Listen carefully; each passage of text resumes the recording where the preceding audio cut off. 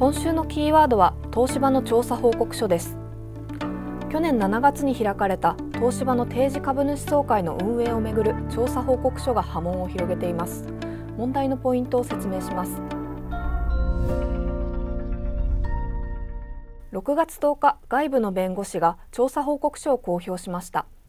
去年7月の株主総会が公正に運営されたものではないと結論付けています。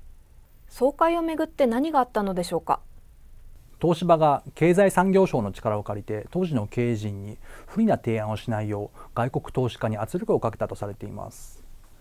シンガポールの投資ファンドエフィッシモキャピタルマネジメントが議決権行使の結果に不自然な点が多いとして今年3月弁護士が調査を始めていました。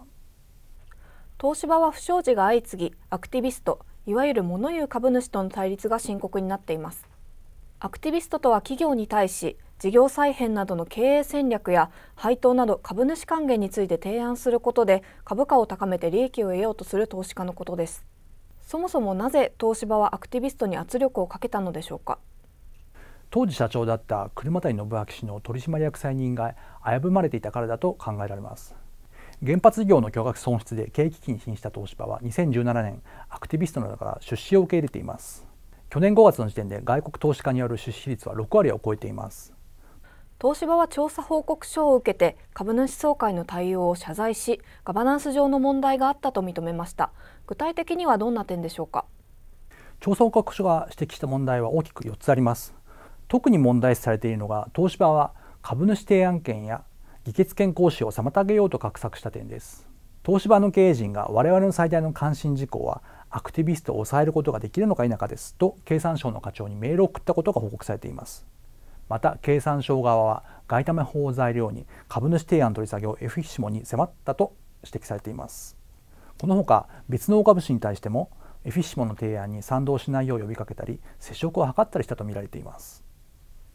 外為法では安全保障上重要な日本企業に対して外国投資家が出資したり取締役の選任を提案したりする場合経産省に事前の届け出が必要と定めています。東芝はそれを利用してアクティビストに圧力をかけるよう経産省に働きかけたということですね。はい。報告書では東芝が経産省を介して外国株主の交渉を事実上依頼したとされています。一方経産省は報告書の内容を事実と認めていません。梶山経産大臣は安全保障に密接に関わる事業があれば関係する個別企業への対応を行うのは当然だとした上で原子力事業を持つ東芝に経産省が個別に対応した件は独自調査しないと述べています。外為法をめぐっては所管ではない当時の情報産業課長がエフィッシモに株主提案の取り下げを迫り東芝側にエフィッシモの動向を教えていたことも問題になっています。報告書では担当事務の範囲を逸脱しているのは法律上問題があると指摘されています。一部の専門家は外為法を所管する規制当局と企業の育成を担当する部署2つの機能を同じ省庁に置いていては適正な権限行使ができなくなる恐れがあると指摘しています。外為法の透明な運用には課題が残っています。経産省と密接に連絡を取り合っていた東芝の取締役の退任が決まりました。東芝はこれからどうガバナンスを強化していくのか今後の焦点を教えてください。6月25日に控える株主総会が一つの焦点になります。調査報告書を受けて議決権行使の助言会社は一部の取締役の選任に反対することを推奨しています。これまでも指摘されてきたことではありますが東芝はガバナンスの強化に向けて経営体制をどう刷新するのか注目が集まっています。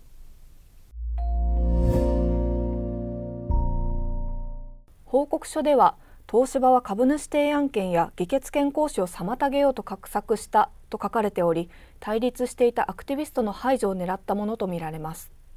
報告書には経産省は外為法を利用してアクティビストに接触を図ったとも書かれており外為法の不透明な運用も明らかになりました。